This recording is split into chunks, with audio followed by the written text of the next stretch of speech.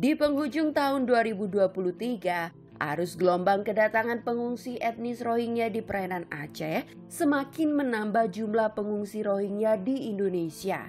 Mereka berlabuh di Biren, Pidi, Sabang, dan Aceh Timur. Hingga pertengahan Desember, UNHCR mencatat total pengungsi yang berada di daerah Aceh mencapai 1.608 jiwa, termasuk 140 orang yang bertahan dalam satu tahun terakhir. Jumlah ini pun belum ditambah dengan 155 pengungsi Rohingya yang bersandar di Kabupaten Langkat, Sumatera Utara pada 30 Desember lalu. Berbeda dengan kedatangannya pada bulan-bulan sebelumnya, Kali ini keberadaan Rohingya mendapat penolakan di sana sini. Sekitar 155 itu anak, wanita, laki-laki. 155 orang. Jadi kelanjutan kita belum tahu lah di mana nanti. Bocor. Ya ini masih kita juga belum tahu ceritanya cuma. itu. Tapi banyak, banyak menutup bahasa.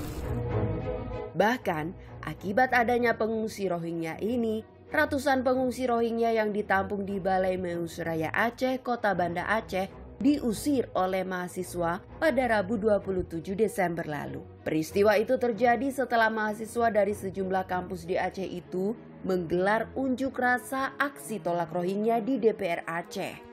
Menerima Rohingya di sini sampai dengan batas waktu yang ditentukan. Artinya ketika keluar pernyataan bahwasanya mereka bisa dipindahkan ataupun bisa dipindahkan keluar Aceh, baru itu selesai.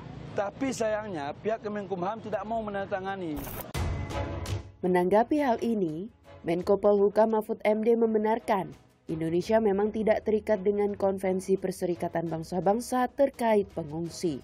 Namun ia mengingatkan banyaknya bantuan yang diterima Aceh saat terjadi peristiwa tsunami tahun 2004. Ditempatkan di gedung PMI, Palang Merah Indonesia, yang sebagian lagi ditempatkan di gedung Yayasan Aceh.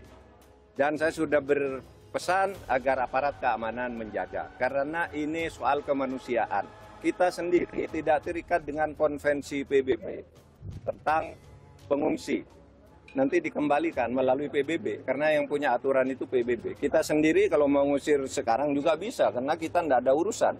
Tetapi ini kan urusan kemanusiaan. Aceh dulu ketika terserang tsunami berbagai dunia manusia dari berbagai penjuru dunia. Masa sekarang tidak mau nolong? Sebelumnya, Presiden Joko Widodo menegaskan akan menampung sementara pengungsi Rohingya yang masuk ke Aceh dengan tetap mengutamakan kepentingan masyarakat lokal. Hal ini akan beriringan dengan proses komunikasi pemerintah dengan organisasi internasional seperti UNHCR. Saya sampaikan bahwa sementara sementara kita tampung, sementara dan kita masih berbicara dengan organisasi-organisasi internasional UNHCR dan lain-lain.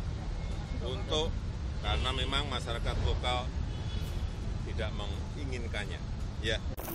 Kondisi ini mulai terjadi sejak 2017. Saat itu, 1,2 juta warga Rohingya kabur dari Myanmar. Sebagian besar dari pengungsi akhirnya tinggal di kem-kem pengungsian di COX Bazar, sebuah kota pelabuhan di Bangladesh. Sisanya kabur ke Indonesia, India, Malaysia, Thailand, dan Australia menjadi negara-negara tujuan lain. Perlu jadi catatan, Indonesia bukan jadi negara tujuan utama pengungsi Rohingya. Indonesia hanya menjadi tempat transit karena para pengungsi Rohingya tidak bisa mendarat di Malaysia akibat penjagaan perbatasan yang ketat.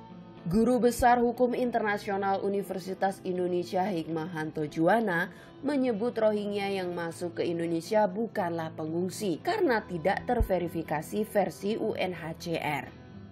Kedatangan mereka harus melalui tempat pintu imigrasi. Tempat pemeriksaan imigrasi, TPI. Nah, ini kan mereka tidak melalui proses itu.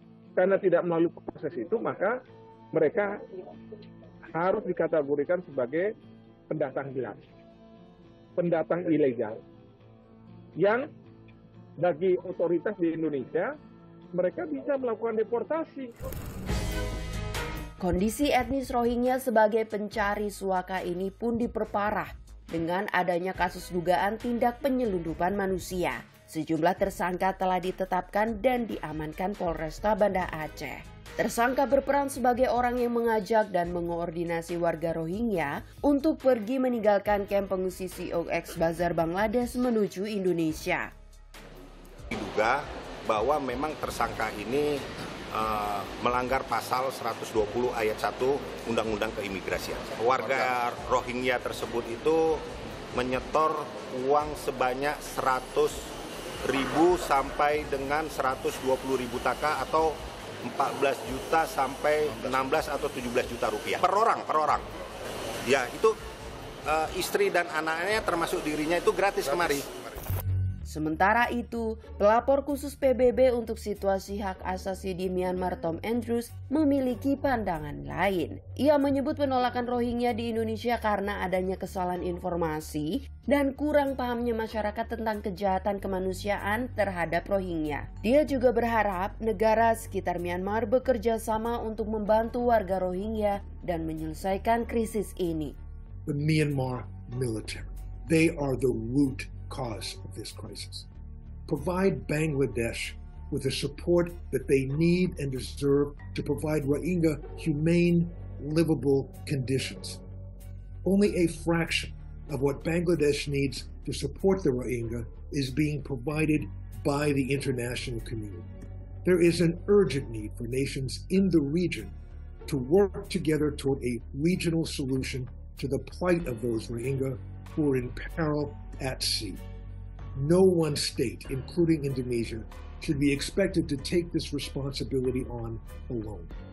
Coordinated efforts should include a robust search and rescue operation and support for those nations who provide these desperate Rohingya families with the help that they need. Etnis Rohingya yang terus berdatangan ke perairan Indonesia memang memicu polemik.